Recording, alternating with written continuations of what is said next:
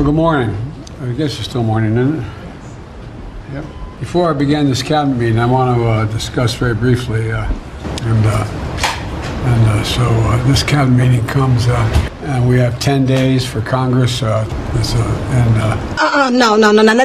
That is just cheap pandering.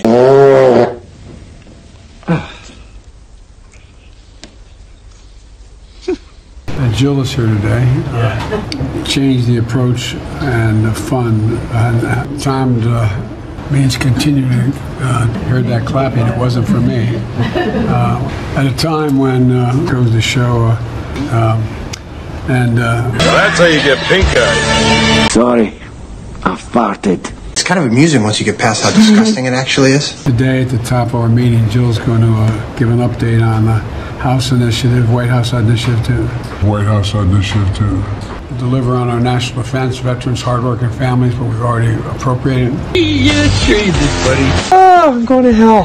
Don't you blaspheme in here. Don't you blaspheme in here. It's important we get it done. Deliver on our national defense, veterans, hardworking families, but we've already appropriated. It's important we get it done. Grammar, sheesh. Well, you best think again.